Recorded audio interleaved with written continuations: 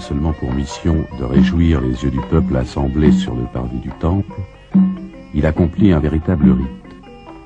Aujourd'hui, le ballet conserve sa fonction d'intercesseur. Il appelle la pluie à la veille de la mousson et conjure les dangers de guerre. Il participe à toutes les cérémonies essentielles de la vie du royaume. Dans ce rituel complexe, chaque geste a sa signification. Chaque élément du costume rutilant des danseuses ne peut être revêtu qu'après certaines prières prononcées à heure fixe.